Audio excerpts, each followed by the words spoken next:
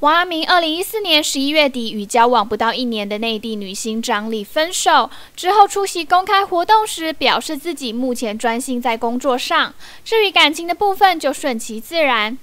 但是换女友速度之快的王阳明，似乎已经习惯身边随时都要有女朋友陪伴。才刚分手，就要被周刊拍到和女歌手蔡诗芸一起去吃披萨，而且整个晚上都可以看到他不断对蔡诗芸献殷勤，不但贴心的将食物放到他的盘中，两个人吃着吃着，王阳明还突然转身亲了蔡诗芸一下，真的是超级肉吗？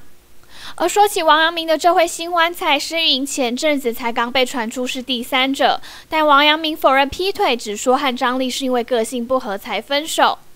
但其实蔡诗芸严格来说并不是王阳明的新欢，他们在八年前就曾经秘密交往过。但是据了解，当年蔡诗芸选择了高以翔，才和王阳明分手。